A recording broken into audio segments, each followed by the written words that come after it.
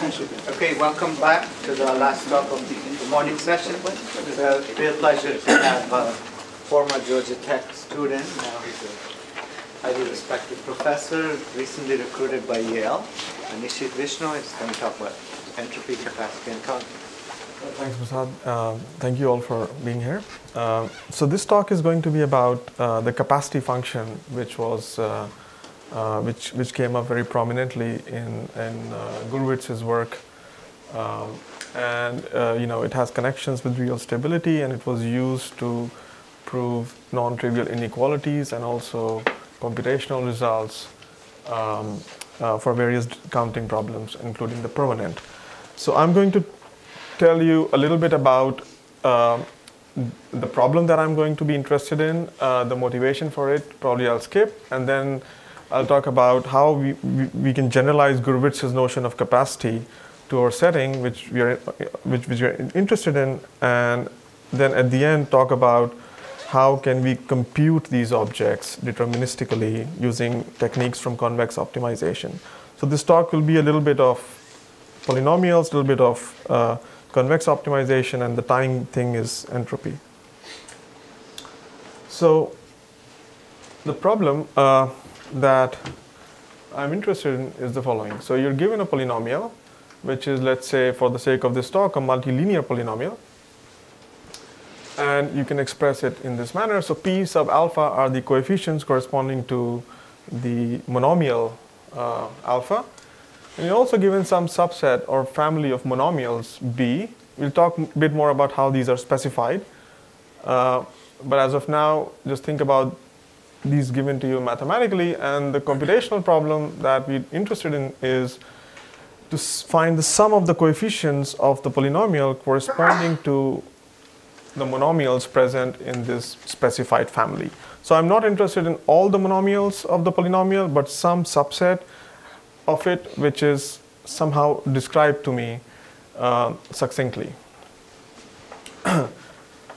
so I guess the, the, the, the, the perhaps the most uh, uh, basic case of this problem is the permanent, which is um, a polynomial um, uh, which has a, you know which can be described in this following setting. So so here is a polynomial which is uh, so if you're given a positive matrix A, n cross n matrix A, what you can do is take each of its row, multiply it with a vector of variables x1 to xn, and that gives you a linear form. And then you can take the product of these linear forms for all the rows, and that gives you a polynomial. It's easy to see that you can evaluate this polynomial at any given point. Um, you know, this has a very small circuit or algorithm to do this. But this is not really the permanent. What is the permanent is the coefficient of the monomial x1, x2, dot, dot, dot, xn, which in our, in our language corresponds to recovering uh, the coefficient corresponding to the monomial 1, 1, 1, 1, 1.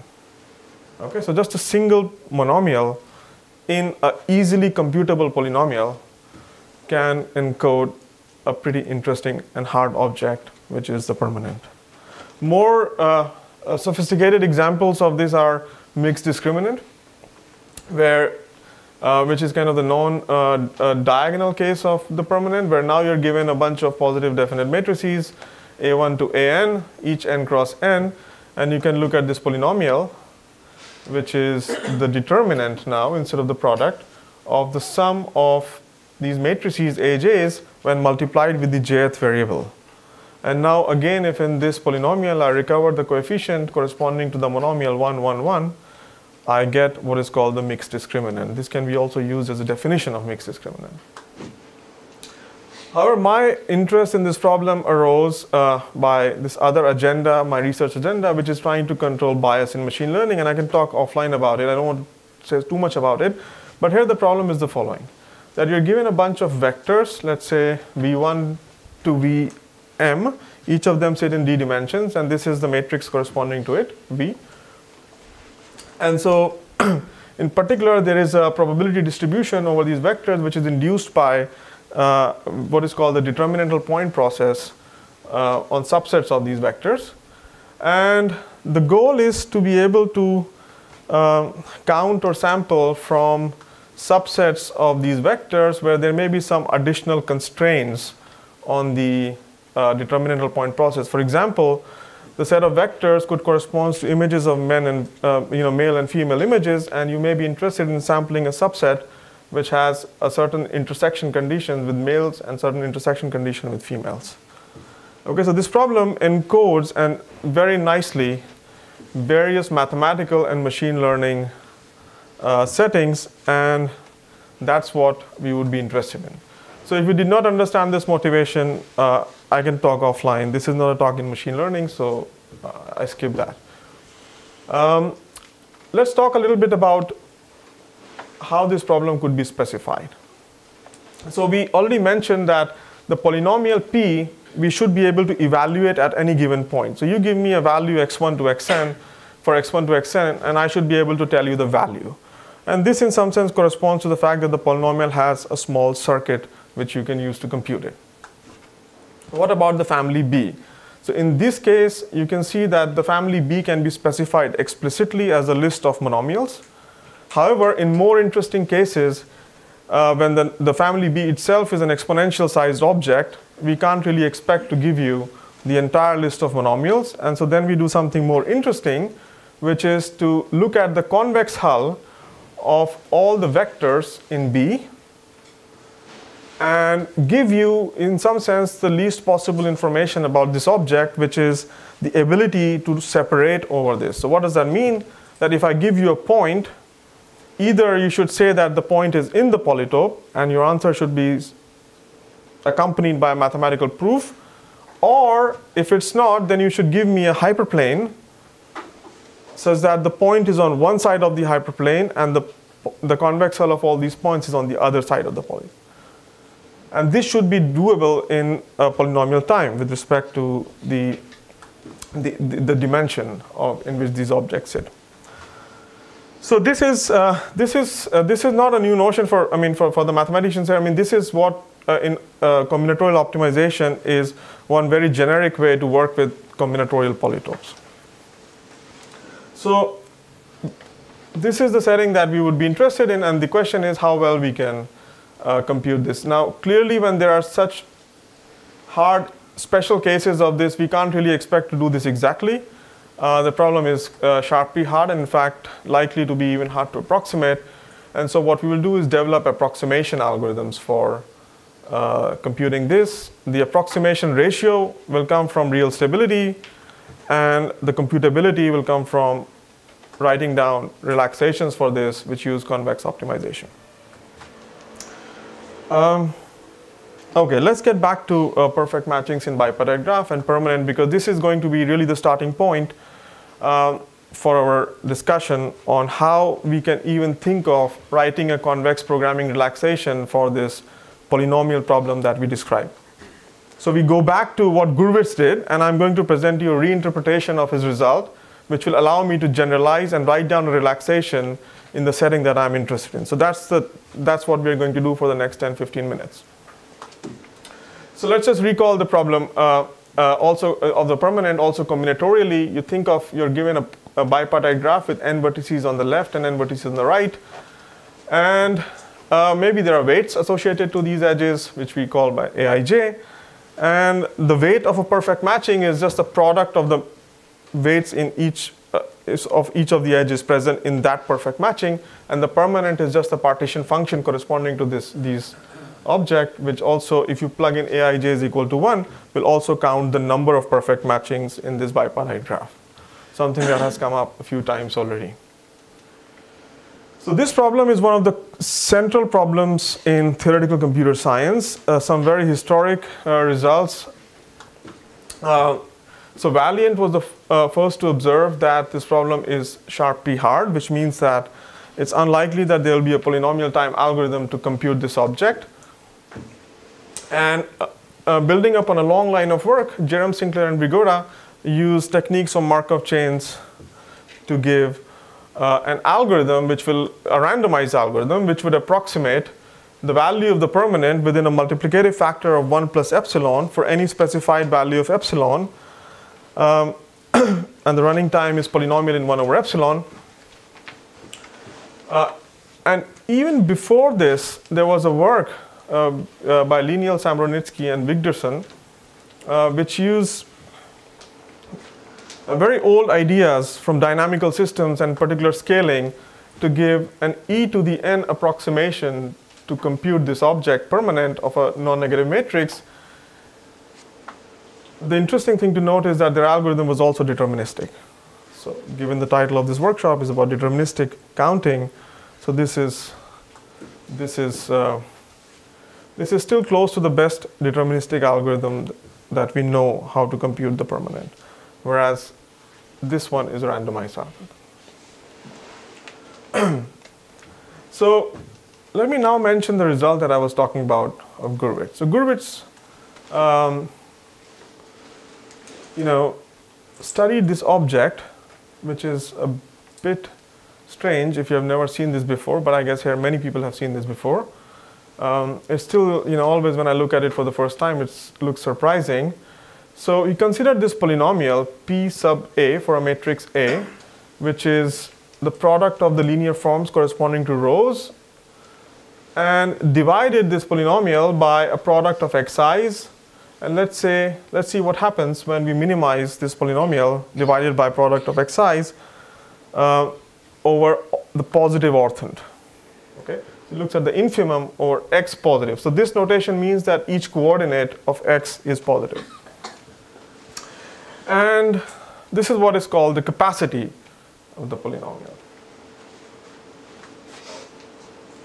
And using uh, the, the, theory of uh, you know, hyperbolic or real stable polynomials, uh, Gurvits proved that this quantity here is a pretty good approximation to the permanent of this matrix, kind of close to what uh, Linial, Samorodnitsky, and Wigderson proved.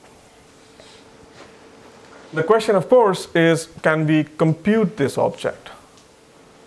Right? So they, they, they also had an algorithm which could do that. The question is can, can, can, can we compute this? And this question is addressed in Gurvits's work as well. So there is an algorithm which you can use to compute this capacity. so I guess if I want to generalize this notion of capacity to the problem that I talked about, given that you can view uh, the permanent as computing a certain coefficient of this polynomial which, which fits in the previous setting, I need to answer a bunch of questions. So one is how, you know, how can I think about this relaxation in a, in a more interesting manner, which will allow me to generalize. Um, and once I have this, how can I guarantee an approximation? And then finally talk about the computability. So it turns out that the, uh, so the conceptually hardest part is to think about this. Once we have this, this is rather easily follows from Gurvits's work. The computability part is uh, quite non-trivial, and I'll tell you a little bit about it uh, in, the, in the most general setting. In Gurvits setting, it's, it's, it's, it's, it's fine, but once we generalize it to arbitrary polytopes and general polynomials, the computability becomes a real issue. Any questions so far? And Okay. The deterministic versus randomization and say this maybe estimation or computational capacity. Sorry? In computing capacity, will will you talk about? Deterministic. Yeah, so these, these will be uh, you know algorithms which are uh, yeah I mean which which are in the realm of convex optimization, and so things like ellipsoid method or interior point method. Yeah. But in practice, actually, if you want to make it faster, it's completely fine to do some uh, cute randomized algorithm, but potentially. For machine learning, I was looking for you. You are sitting right here. okay. No, I was trying to find you in the room. You're sitting right here. okay, great. So let's. Uh, so th- this is our goal to generalize this theory to the setting of polynomials and polytopes. So let's let's let's see what the connection first is between counting and entropy. This is a connection that goes back to Boltzmann. In fact, it's Boltzmann's famous equation, which is even on his grave, uh, which I guess many people here have seen. If not, I highly recommend. Uh, so, so Boltzmann was thinking about the second law of thermodynamics, and essentially these ideas can lead us via some slightly more sophisticated convex duality to the following very simple uh, uh, convex optimization characterization of the permanent. So now let's look at the, uh, the object, which I call P sub Pm, where M is the set of all perfect matchings in, the, in, in this bipartite graph, and PFM is just the convex hull. So this is just nothing but the bipartite matching polytope or the, or as we know, it's the Birkhoff von Neumann polytope. Okay, so this is an object that many people here know. And so you're given some weight uh, to each vertex. And let's ask ourselves the following question. Is there, so suppose I give you a point theta, which is inside the polytope. Okay. Well, a point inside a convex polytope can be written as a convex combination of its vertices, potentially in many, many different ways.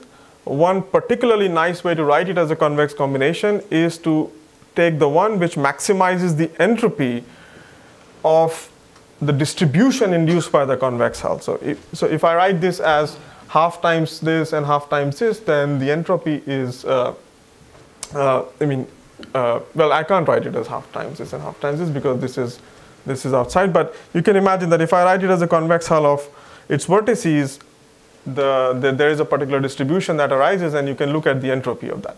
And that's exactly uh, this quantity here, which I call primal of theta. So primal um, essentially hints to the fact that there is a dual that is coming of this object.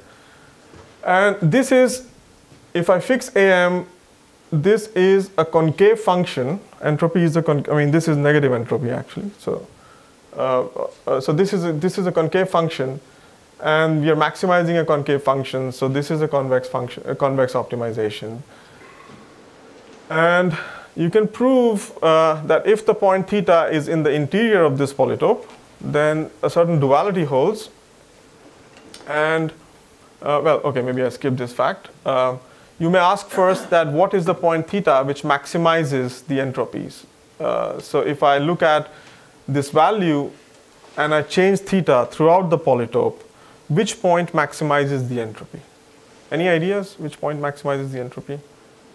The image of the moment map. The image of the moment map. No, polynomial which corresponds to scaled the matrix. Marginal probabilities of the random perfect matches. Correct.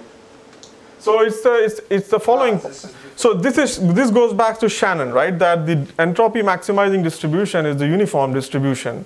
What's the support of this distribution? The support of this distribution is all perfect matchings. So if you pick the point which corresponds to the the average of all the vertices, okay? So take take take the same weight on all the vertices and look at the you know look at the point that you get, that is the point that will maximize this, this uh, objective function and, and you can prove that the value is exactly equal to log of the permanent. What's the problem with this? Why, why is this not an, give you an algorithm? I mean, after all, there are rumors that convex optimization is in polynomial time, right?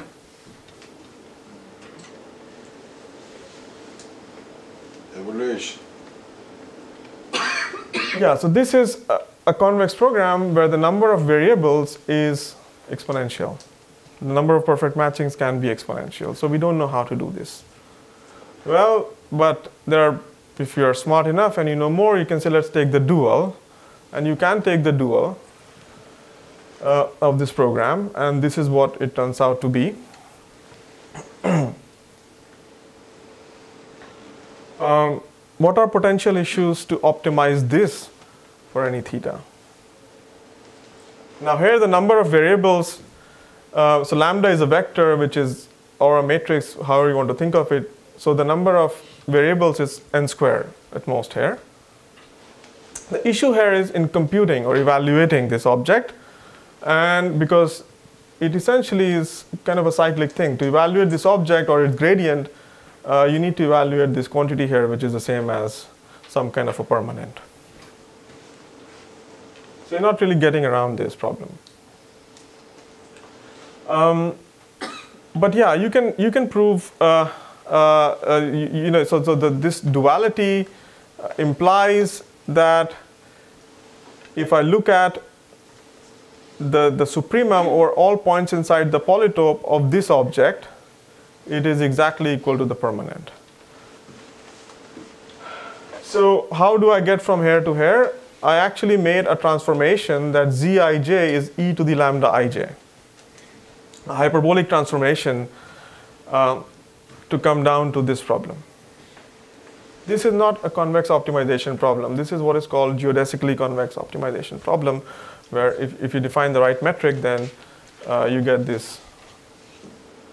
Um, so this starts looking more and more like what Gurvits is doing, but still it seems not exactly the same thing. And in particular, uh, we neither know how to evaluate this polynomial, um, uh, nor do we know anything about the optimization aspect of it. So, so we will try to simplify this and arrive at. Uh, but the nice thing about this interpretation is that this has nothing to do with matchings. You can do this over any set of objects, uh, any set of combinatorial objects. so let's look at this, uh, this thing that we just derived. Um, the problem with this is that you know, the polynomial in the, in the numerator is hard to evaluate. Uh, and one observation about the uh, the polytope of bipartite perfect matchings is that it's an in, so bipartite perfect matching is intersection of two matroids. For those of you you know what it means, and in particular that also implies that you can write down this polytope as the intersection of two polytopes, which are the following. So so on the left hand side you have this polytope which corresponds to um, column stochastic matrices. So for every column, the sum of all the entries is equal to 1. And the right hand side corresponds to row stochastic matrices, which and so if you look at the intersection of these two objects, then you can recover back this polytope. It has some structure, which is kind of interesting. So one thing we can do is to, to make this polynomial a little bit uh, more tractable is to just restrict this or just relax this to be um, only on one of one of these polytopes. So for example, what I do here is starting from this polytope here, I consider this p tilde of z, which is just a Newton polytope with the appropriate weights of uh, of this polytope corresponding to m2. Okay. Uh, this now becomes easy to evaluate, and this is uh, this is also what I mean, you know, in some sense, what Gurvits was doing. And so basically, I had these two things here. Uh, so theta belonging to PM. PM is an intersection of two objects. What I did was I moved one object here and one object there. So the moment I realize I have an intersection of two different combinatorial objects, I, I consider this kind of a relaxation where I now optimize theta over the first polytope and evaluate the polynomial only at the second polytope. So technically this is not a relaxation because I really can't prove that this quantity is related at all to this. But this is a heuristic way to make your polynomial optimization problem at least now not suffer the, the consequences of that I can't even evaluate the polynomial or I can't, I can't optimize over the polytope. Okay, so this, uh, there's nothing really stopping us from going ahead and looking at what happens uh, uh, with this. With this, so one thing we can do is, in this object, we can replace zij's with xi for all j's. And the reason is that when we are optimizing over theta, which belongs to this set of column stochastic matrices, it doesn't really, you can pick different z's, but you don't have to.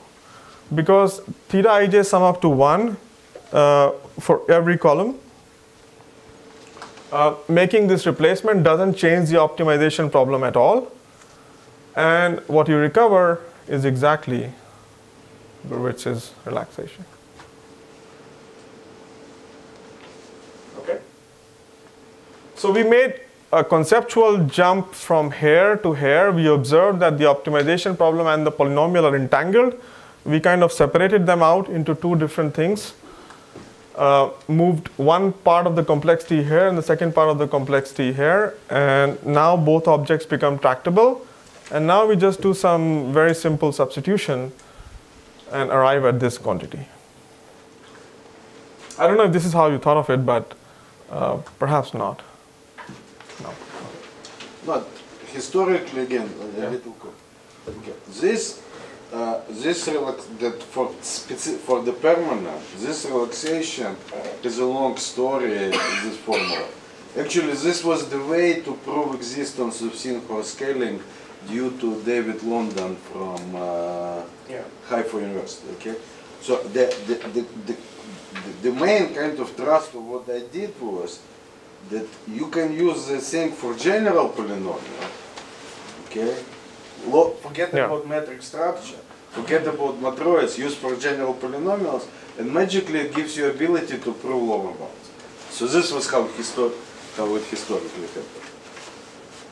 And now we will see that this, this way of looking at it very easily allows us to generalize uh, or come up with a notion of capacity for the problem that I showed you in the first slide. Okay? So, sorry, go Yeah. back. So a priori you said it's not clear how this new relaxation is related to. It's not clear, yeah, at all. Now with Gurvits's result, it It is. shows that it is related, yeah, yeah.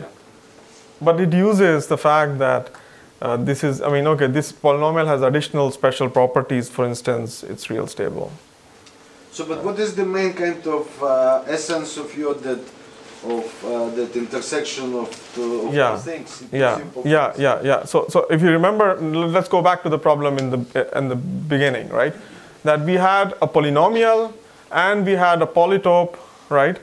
And these two objects, we, we wanted to intersect by computing the sum of the coefficients of the polynomial restricted to this polytope. This is what we wanted to do. So there was always an intersection hidden somewhere. And if these two quantities were a priori not tractable, then this problem anyway doesn't make sense. So we are assuming that the evaluation of this polynomial is easy as well as separation over this polytope is easy. So there is already some kind of easiness to both these objects. And yeah, so we do exactly what I at a high level suggested. We, we look at the supremum over the polytope and uh, of this quantity. And that's our generalization of the capacity. It looks simple, but it took us a long time to arrive at that. This, what is the right notion of capacity, which even makes sense. I think Nima here will talk about a different way uh, to arrive at something similar. So, so one second. Capacity, the way the way you wrote is uh, like depending on those Newton polytopes. So capacity in general as a function of that uh, of those exponent is log concave. Okay, so maximizing the So this is not convex optimization anymore. No, no, yeah, yeah, yeah, yeah. So I'm just trying. Okay. Yeah. So I have what I've done is added a supremum term here, which in some sense uh, was missing from Gurvits's thing because it got absorbed by this additional structure that matching had. So if I go back to this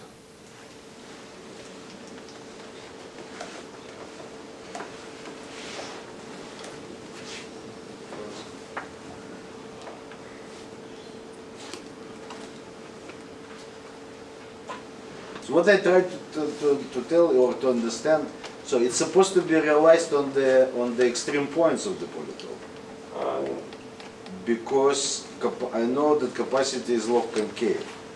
But this is not the usual notion of capacity. Ah, yeah, yeah, yeah. yeah. So So just I wanted to show you this again that we had a problem in which there was something outside of this infimum.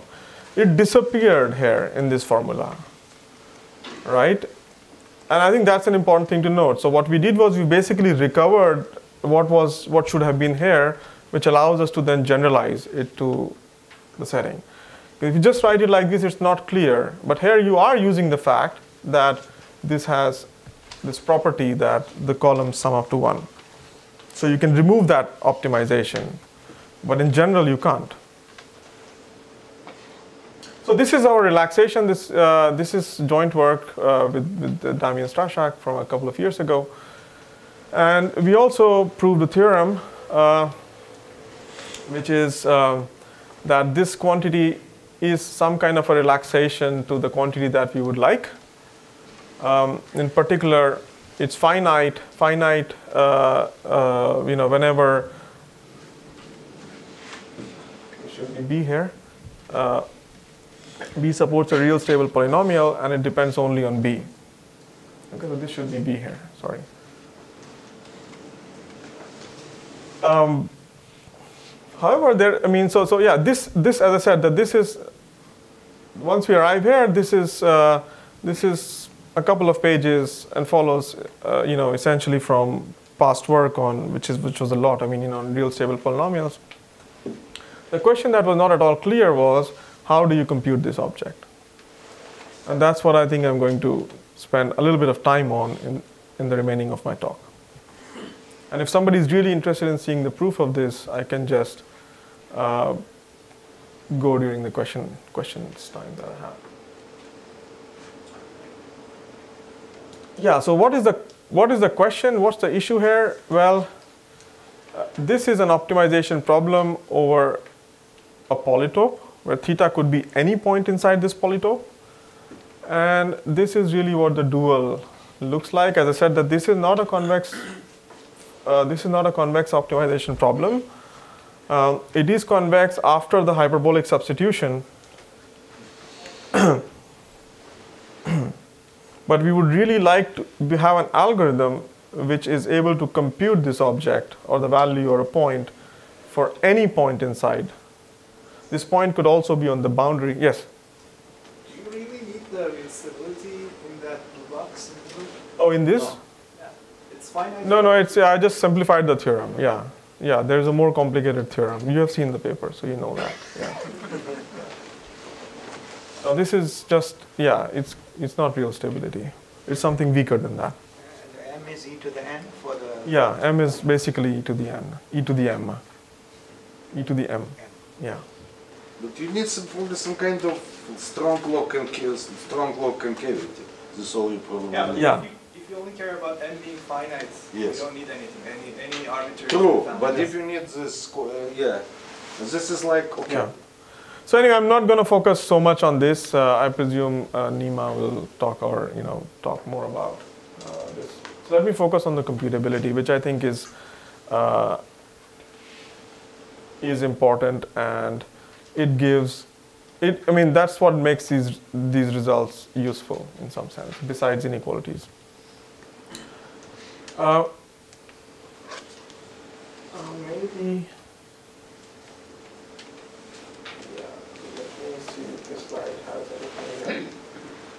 Yeah, I'm going to skip these proofs.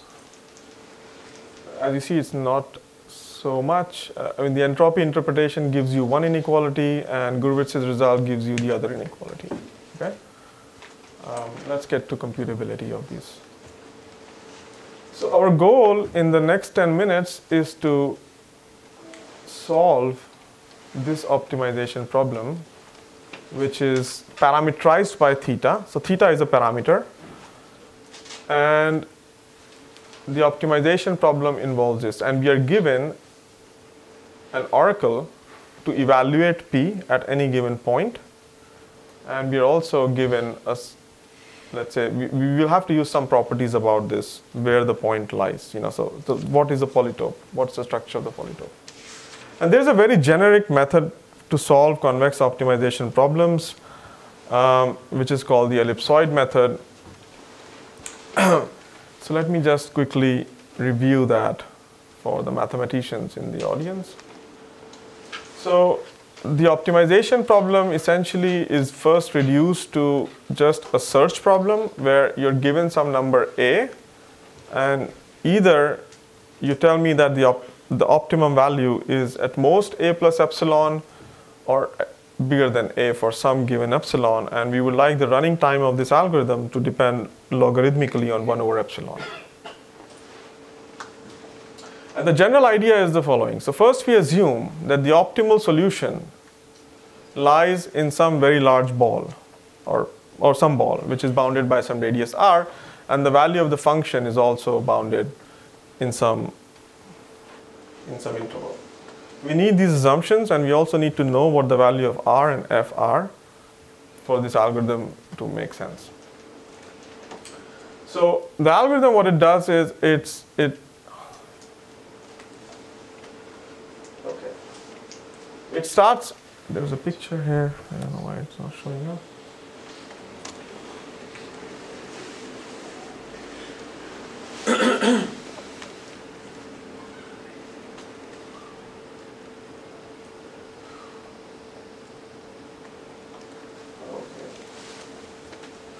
Um, there's a picture here which I wanted you to see that you start off with some kind of a, a ellipsoid or a ball which is guaranteed to contain the optimal point.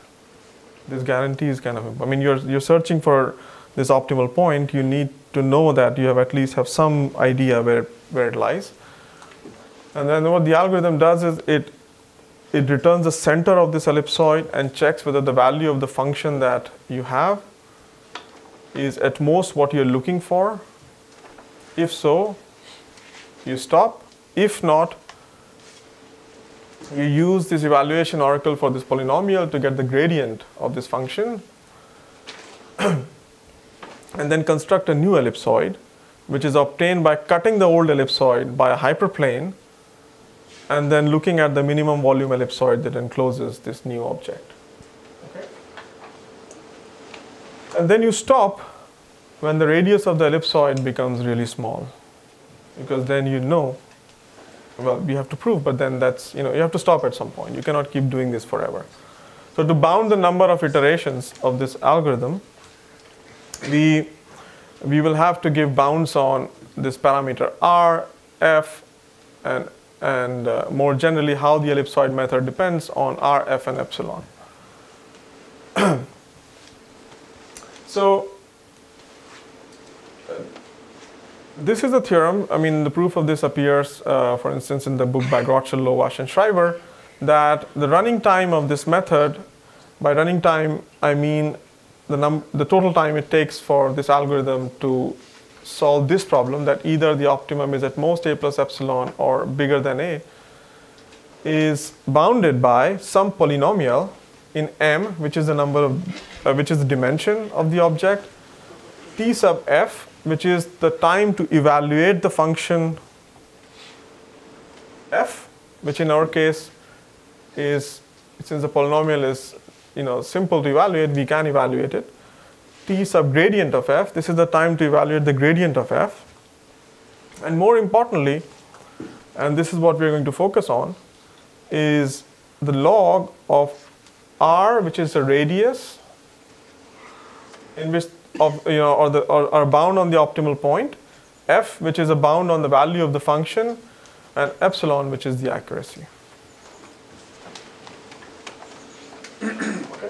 So for this to be a polynomial time algorithm we need to provide at most an exponential bound on r f or epsilon.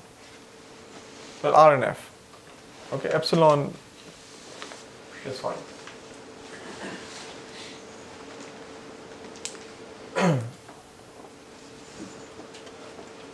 so, here is the, you know, here is a problem uh, with this. okay, let, let's first do the simple part. So this entropy interpretation actually tells us that the value of the function, which is which is the bound on f, can't be much more. So that's bounded by m, and that's that follows from the following. So this is the function that we wanted to optimize. And we also know through duality that it has, you know, it has, it has a certain form. It's an entropy of something. And at least in the case where the p's are all 1, let's say, we can bound the entropy of a distribution on at least, let's say, on at most 2 to the m vertices by the log of that, which is m. So this is not quite correct, but this is morally correct because if I look at, go back to the multilinear setting where we just have, you know, 0, 1 points, then the number of such points cannot be more than 2 to the m because we are in m dimensions. And an entropy maximizing distribution on that is at most m. So because of duality, we can get this bound, that the f, f is not too large. So this is the easy part. But it does use this duality. The issue becomes bounding R. And one of the things that you can already notice is that as this point starts to go closer and closer to the boundary, what starts to happen is that the optimal solution necessarily has to go to infinity. And the reason is that if this point was actually on this boundary, then none of these vertices should have any probability mass on them. Right? And because the probability mass is controlled by an exponential, the exponential can never be uh, zero unless the point is at infinity. So it is necessarily true that this point y star must be at infinity as you're approaching close to the boundary. So now if you were to run this algorithm for some value of theta which is really really close to the boundary, you expect this r to become larger and larger. So you cannot really expect this to be a polynomial time algorithm. Okay?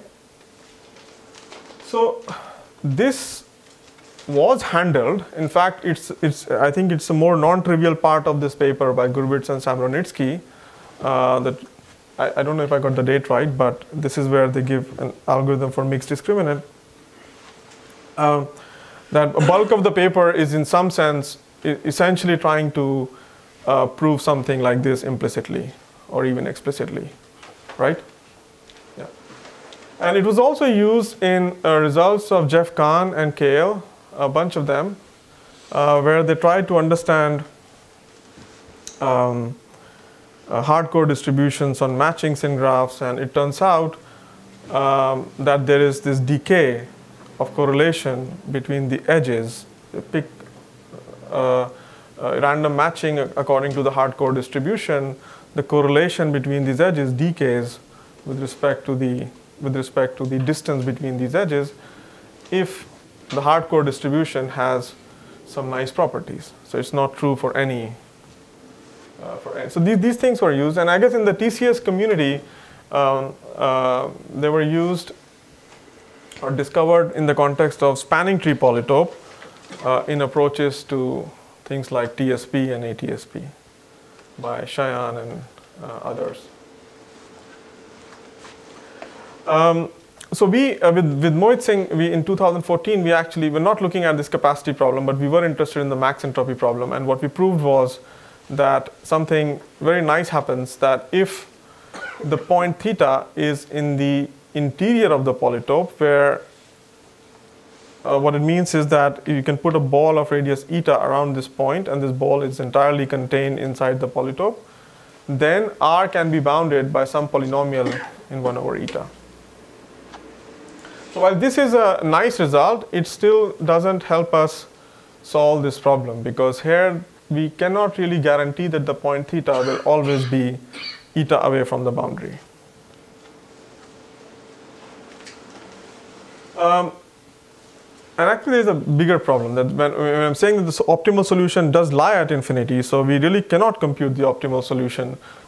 But what we can do is compute something which is an approximate solution. So it's enough to find a y so that this function here, h theta y, which is this thing inside the infimum, is no more than the optimal value plus some epsilon and there is no reason for such a y to be at infinity. Such a y could be potentially much closer in a smaller ball. And that's what we, that's what we prove in a, in, a, uh, in a recent result that under some very generic uh, general assumptions on the polytope, we can prove that there is always an epsilon approximating point which lies in a ball of radius m um, times something like polylog 1 over epsilon. And this allows us to at least bypass this issue of uh, the bounding box which ellipsoid method requires.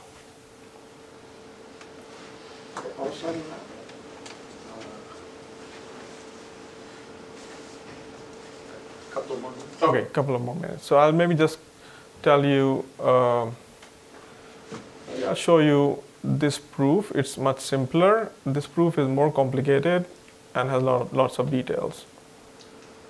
So let me in the next couple of minutes give you some idea as to what is the interesting aspect of proving such a theorem.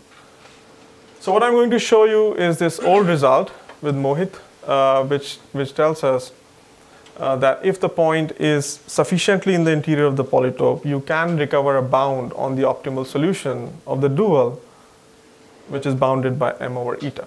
And you can see how general this result is. So we will use this fact that entropy over a discrete set of size at most 2 to the m is at most m. This is something we have used. And, uh, and this in particular implies that the dual uh, at the optimal point lambda star is bounded by m. And if I, if from this I, I can easily deduce that for each each matching, or in this case, each set S, each vertex of the polytope, it satisfies this inequality that the inner product of the optimal dual point with this given point theta minus the inner product of the optimal dual point with respect to the indicator vector of a particular vertex is at most m. And this starts feeling like some kind of polarity is going on, and that's indeed what is the case. You can just uh, rewrite this equation and argue that the inner product of the vector minus lambda star by m with v minus theta, where v is any point inside the polytope, is bounded by 1. Okay? So if for a moment you assume that theta is uh, theta is 0 or theta is the origin, then this immediately implies that the point minus lambda star by m is in the polar of the convex hull. So very elementary convex geometry. And I claim this is enough for us to establish some bound. The fact that the optimal point lies in the polar of the polytope, roughly, and the fact that there is a small ball that is contained, contained inside the polytope immediately imply a bound. The reason is that if you have a polytope in which some ball lies inside, then the polar of this polytope is contained in the polar of the ball. Okay? And we know what the polar of the ball looks like. We know that if since this ball has radius at least eta, we know that the polar of the ball has radius at most MO, uh, 1 over eta.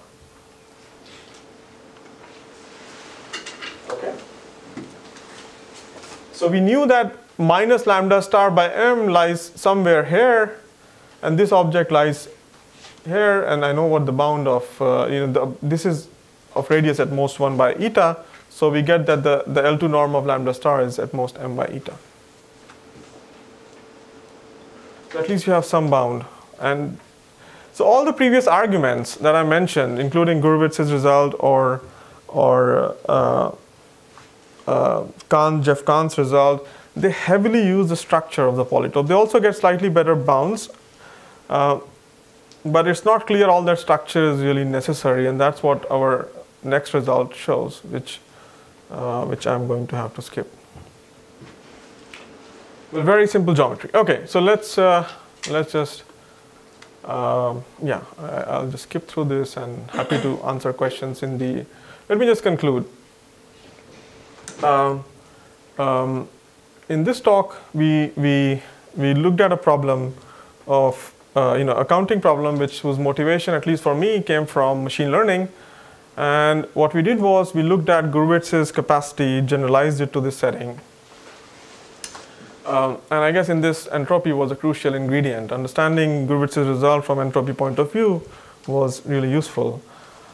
And the end result was a deterministic approximate counting algorithm for a wide variety of uh, problems. And interestingly, also includes this object called the Brascamp Lieb constant uh, for the rank one case, where you know Raphael is the expert here on that, um, which um, which is a very interesting constant, uh, and its computability is known only for this rank 1 case and essentially through, through these methods. There is no other way to compute these constants arising in uh, this inequality other than uh, coming up with algorithms like the one I showed you, at least so far. So I guess uh, a couple of uh, questions that arise. Given that these algorithms are actually useful for machine learning, it's actually useful to have faster algorithms compared to ellipsoid method. And so one direction could be to come up with, uh, um, you know, are there versions of scaling type algorithms uh, for this general setting? And finally, uh, as I mentioned, and this comment is a bit mysterious, but it does relate to this Brascamp-Lieb problem, is that, I mean, capacity uh, is really not a convex optimization problem. It is, in a very elementary form, form a geodesically convex optimization problem. and this, is, this holds more generally.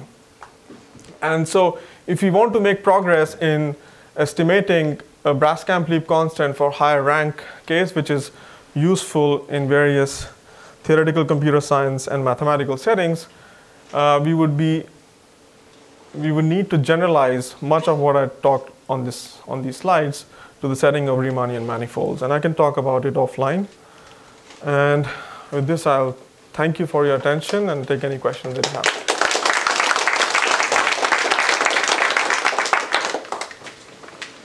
So the, from the practical point of view, for which, so you need to compute those probabilities on certain supports.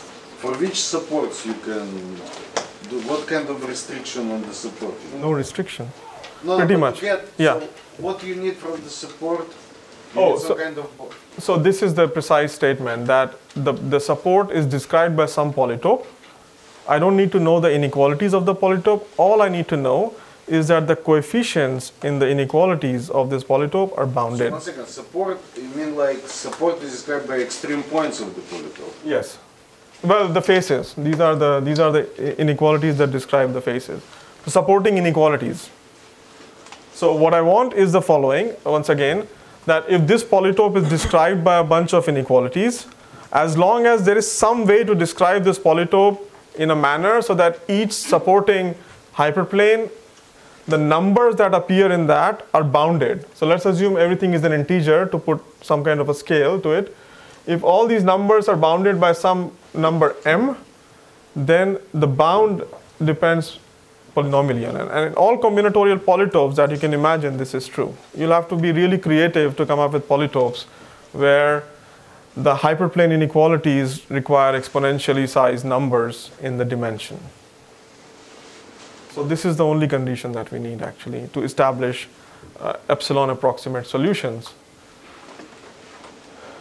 So, so, so really, okay, so really let me rephrase it. So the another way to compute this probability would be like this. I associate a polynomial which is, uh, let's say multilinear case, which is one at those monomials at coefficient at zero and take kind of dot product of the thing, okay? So, uh, and if that polynomial happen to be, let's say, stable or the log concave, then you can apply the, you can apply the, the same inequality. Yeah, yeah. You, Okay, you, so which yeah. corresponds roughly to the case when support is a matroid. So- yes, that's right. And you will get better, so will you get this strategy, will you get better No. I don't think so. So I mean- computationally kind of the same stuff? Pretty much, yeah. So for matroids, so well, for real stable polynomials, you get something more general called jump systems, I guess.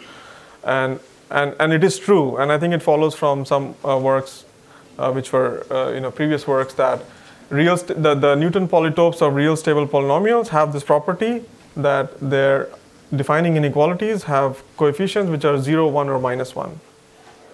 Right? This is something you knew before. Yeah. So so that so so all those polytopes are also included in this. But this is much beyond the matroid structure. So, yeah. Any other questions? So one thing that wasn't completely clear to me, so you had the bounds uh, with this, say, a different version of capacity type thing, and then uh, m that was shown to be finite and maybe e to the m. and- Yeah, e to the m. So Yeah. For a different problem, Yeah. that fits in this framework. Besides computing the main quantity, one also needs an estimate on this capital Right. M. Yes. So how, what about that? That's, is that always manageable? Well, it is manageable in the settings that uh, we cared about, which is, uh, you know, DPPs are real stable. So determinantal point processes are real stable because they arise as through some kind of a determinant.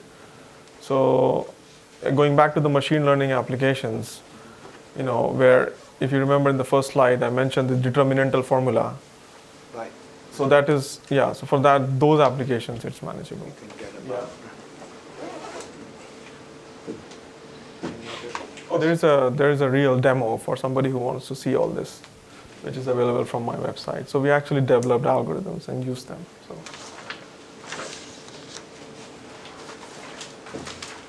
Any other questions?